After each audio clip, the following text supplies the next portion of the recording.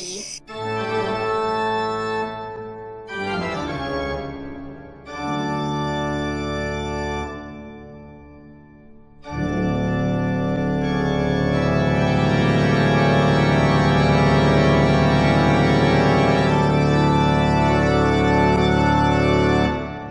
Hee hee hee hee hee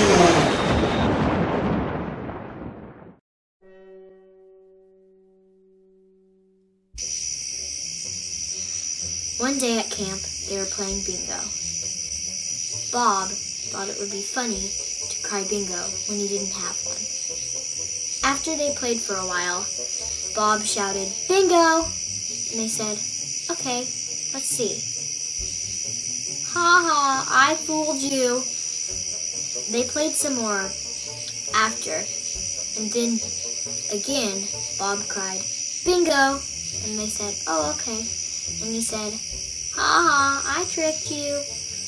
After that, he, they played some more. Then, Bob, for the third time, cried, Bingo! And then a wolf ate him.